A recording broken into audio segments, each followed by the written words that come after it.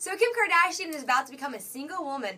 No, no, no, she's not getting rid of Kanye West. It looks like Kris Humphries has finally decided to give Kim what she wants, a divorce.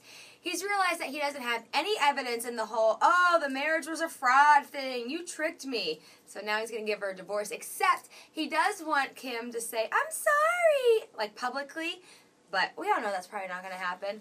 We got some good news coming out of Boston. Bradley Cooper is our hero celebrity of the day. He decided to go visit some of the victims from the marathon bombing in the hospital and kind of just like bring up their spirits and make them feel better.